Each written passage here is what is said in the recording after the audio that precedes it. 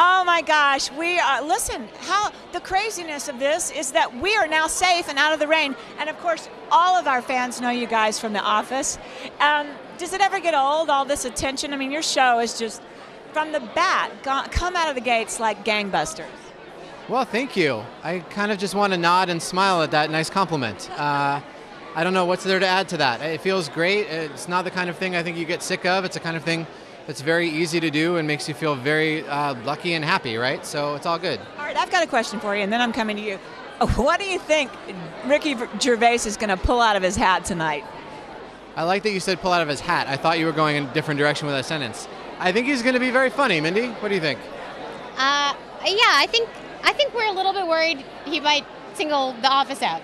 Yeah. You think so? Yeah, he likes to go to us for punchlines.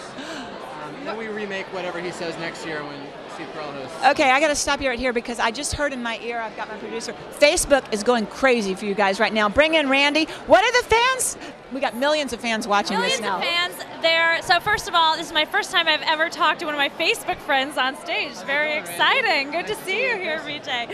But uh, Facebook fans, I'm seeing The Office, tons of exclamation points. Everyone wants to know. I know we just talked about Ricky Gervais, but how does it feel to, you know, he created the original series. Now you're here and he's hosting. I think um, generally we, we both communicate back and forth with sarcasm.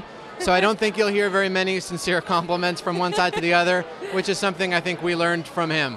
So uh, I think there will be a lot of bad mouthing uh, the British and American versions uh, that is done. I can confess to you probably out of out of respect and affection, not out of real hatred. But that's the last positive thing I will say about Ricky all night.